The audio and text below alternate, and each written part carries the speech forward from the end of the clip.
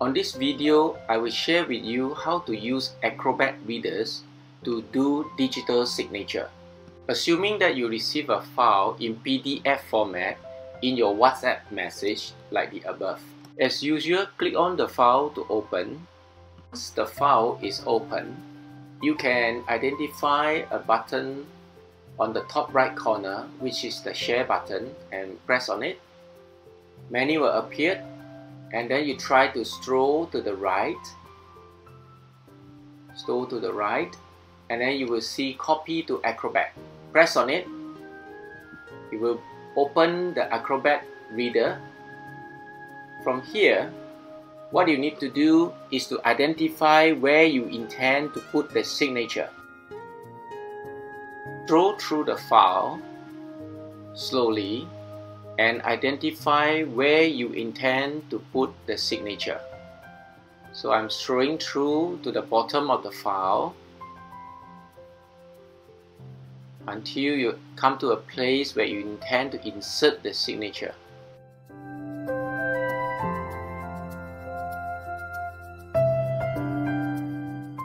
Click on the blue color pencil icon the blue color pencil icon. And then you bring to this uh, fill and sign. Press on it. Once you press on it there will be a bottom menu appear. Press on the menu script bench on the rightmost corner. And then you will come to this uh, signature page. Just delete the old signature if you want and then press create signature. It will bring you to this page for you to put down your signature. You can do multiple times until you happy with the signature. And then press done.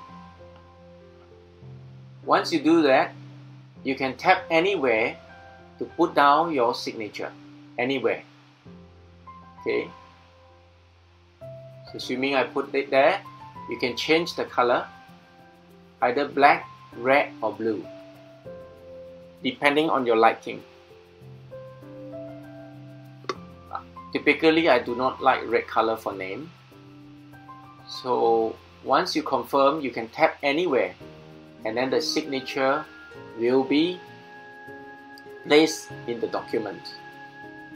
You can do this multiple times until you know you have finished signing the whole document.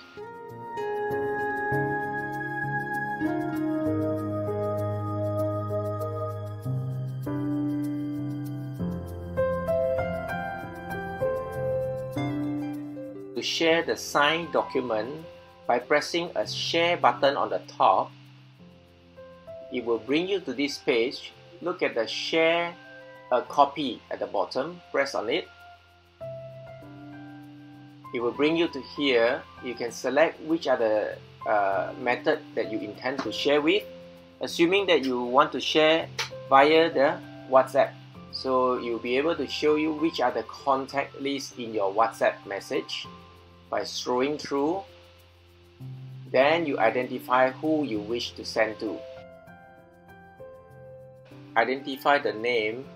Just press the next button. And then it will bring you to this page and it please send that's all.